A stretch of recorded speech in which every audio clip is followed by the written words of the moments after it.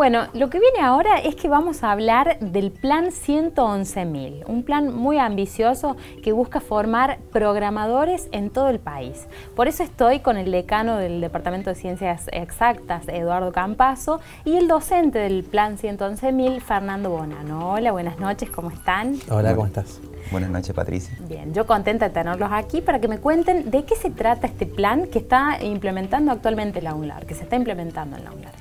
Bueno, este, este, plan es un plan que, como vos bien decías, ambicioso. Eh, procura formar más este, 100.000 programadores, 10.000 profesionales del área de sistema y 1.000 emprendedores de empresas relacionadas con, con las nuevas tecnologías. Es un programa que se baja desde el Ministerio de Producción de la Nación, conjuntamente y articulando con la Secretaría de Políticas Universitarias, donde nuestra universidad se constituyó como, como institución formadora de programadores y a partir de allí se, abrió una inscripción este, en una plataforma a nivel nacional, donde en este año se han inscrito este, más de 40.000 jóvenes para este programa, de los cuales más de 1.000 son riojanos. ¿sí? Y eso nos posiciona muy bien en, vistas del el interés que ha generado esta nueva industria, una, una industria incipiente, puesto que La Rioja hoy por hoy tiene más inscriptos y eso es muy importante y les llamó muchísimo la atención a los, funcionarios de Nación, tiene más inscriptos que la misma ciudad de Rosario, cuando estamos hablando de una ciudad que es cinco veces más grande que la ciudad de La Rioja, ¿no?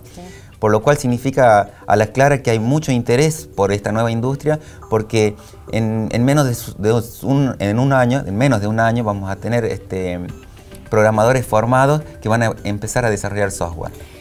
A ver, ¿quiénes pueden participar de este programa? Porque mil es un número bastante alto, digamos, pero digamos, es bastante accesible eh, para quienes pueden participar. En esta primera etapa, este, la universidad pone a disposición de jóvenes que están terminando la escuela secundaria, que están en el último año, o bien ya la hayan terminado. No obstante, también hay muchos este, no tan jóvenes inscriptos, ¿no? que están interesados en esta, en esta industria, que están interesados en relacionar sus actividades, que pueden venir de otras áreas, de otras disciplinas, y complementarlas con el desarrollo de software. Tal es así que, como ejemplo, tenemos dos doctoras relacionadas con bioquímica que están haciendo el que están eh, formándose en el programa 111.000 y la verdad que por los comentarios que escucho están muy conformes con ello. Bueno, Fernando, ¿y qué hace un programador? Eh, un programador es eh, una persona que genera código o genera software, produce software para dar soluciones en diferentes ámbitos. Porque hoy en día el software se aplica en todas las industrias, en la agronomía, en la medicina, en todo tipo de, industria. Eh, hoy en día se exporta, mucho software para otros países. Uno de los grandes productores es China, la India, y Argentina se está posicionando por la calidad de software que produce. Eh, como decía Eduardo, en San Luis ya hay 30 empresas que producen software y en su gran mayoría lo exportan para diferentes tipos de soluciones.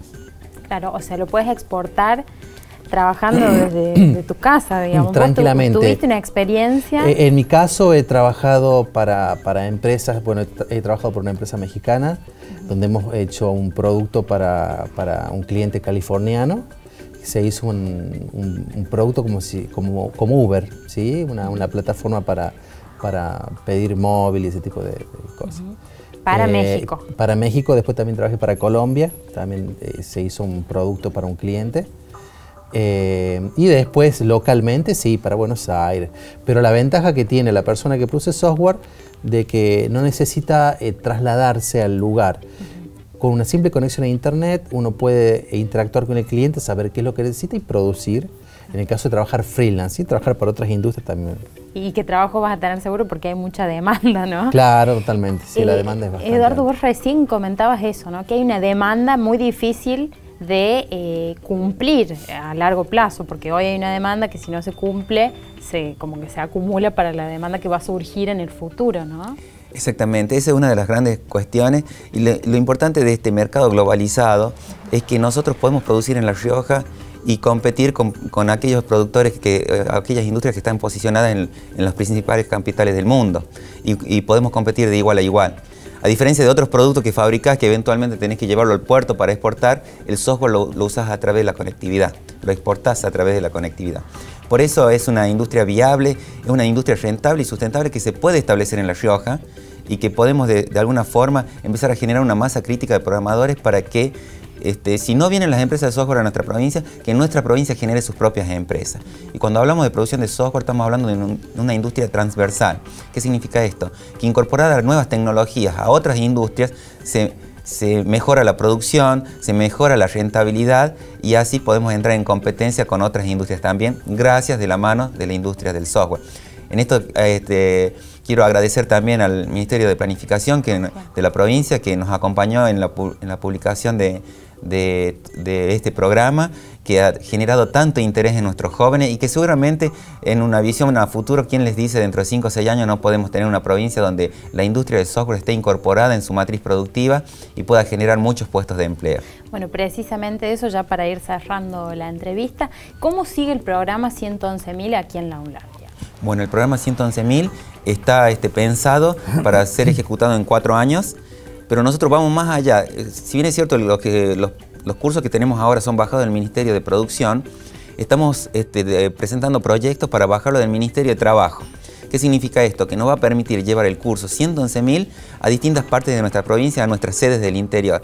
Estamos pensando llevar a Imogasta, Chepes, Chamical, Olta y, y Villa Unión Estamos pensando llevarlo ya para el año que viene para que los jóvenes de esas localidades puedan acceder al programa, incluso dirigido a, jóvenes que no tienen trabajo y eventualmente no, no han terminado la secundaria, porque eso lo vamos a bajar a través del Ministerio de Trabajo de la provincia, el Ministerio de Trabajo de la Nación, de la GECAL, de la Gerencia de Empleo de la provincia. Más allá del, plan, algo que me parece importante, la UNLAR tiene carreras específicas. sí, eso es muy importante porque lo vamos a articular, lo estamos articulando con la carrera de Ingeniería en Licenciatura, eh, Ingeniería en, licenciatura en Sistema de Información y las técnicas Universitaria en Informática, que la tenemos en todo el interior de la provincia y en la capital. Muy bien, muchísimas gracias por estar acá.